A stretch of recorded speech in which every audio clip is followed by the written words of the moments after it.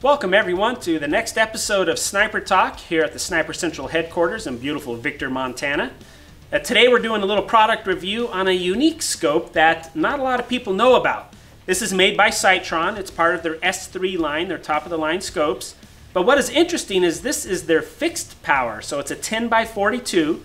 Uh, it's not a variable power. That's one of the things that makes it somewhat unique. And not a whole bunch of people make these tactical 10 power scopes anymore which is unfortunate because we actually like them. We prefer that there is less moving parts within the scope, makes them more durable, also makes the operation much more simple. You don't have to worry about whether you have the zoom at the proper setting or even if you've cranked it all the way up or whatever. So it's very simple operation.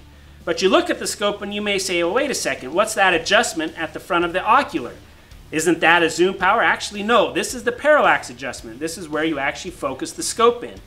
This is similar to the baseline uh, SWFA Super Sniper scopes, um, but this is on the Sightron.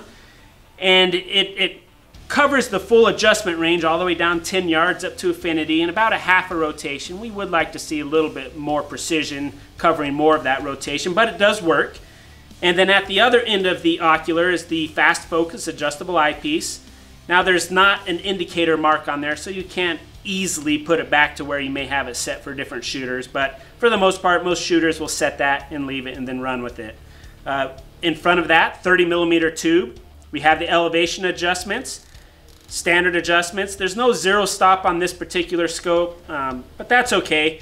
It has 15 revolution, I'm sorry, 15 MOA per revolution.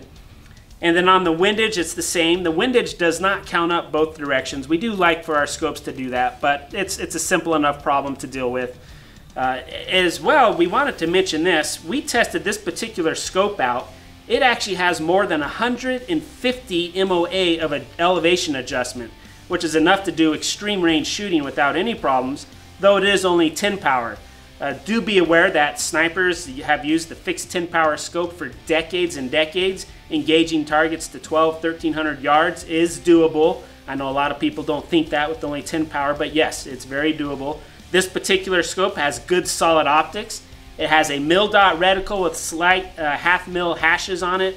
Uh, overall quality is good. It's about the $500 price range.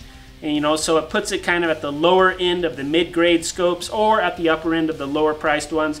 Either way, for the money, uh, simple operation, very good quality scope.